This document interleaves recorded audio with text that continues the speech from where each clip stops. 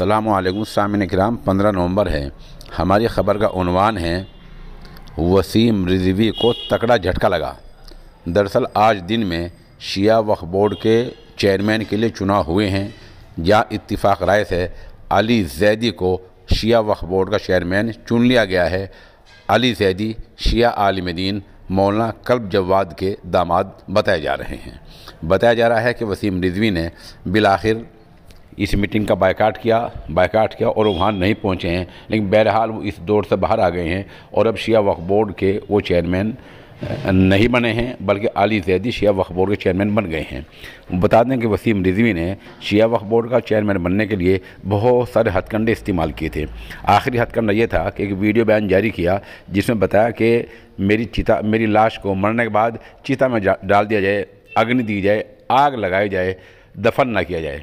इससे पहले हथकंडा इस्तेमाल किया कि 26 आयतों को कुरान शरीफ से निकाल दिया जाए। उससे पहले और हथकंडा किया कि मुझे राम राम खाम में नज़र आ जाते हैं।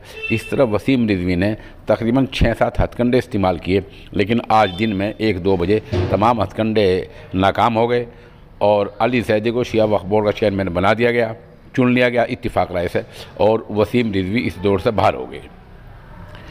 आपको बतला दें कि लगभग आठ महीने पहले मरकज़ी अकलती उमूर के वज़ीर जनाब मुख्तार अब्बास नकवी साहब ने एक वफ़ कौंसिल पर मुश्तमिल एक वफ़द बनाया था और एक वफ़द को वसीम रिजवी की चेयरमैन रहते हुए इंक्वायरी के लिए भेजा था।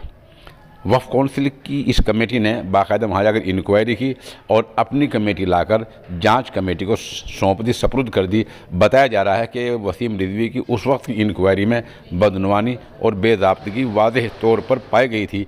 तभी से वसीम रिजवी का शिया वक्फ बोर्ड का चेयरमैन बनना नामुमकिन सा हो गया था। बहरहाल वसीम रिजवी साहब ने चेयरमैन बनने के लिए जितने हथकंडे इस्तेमाल किए थे, वो तमाम के तमाम फैल हो गए हैं और आज शिया वक्फ बोर्ड के चेयरमैन जनाब अली जैदी बन गए हैं।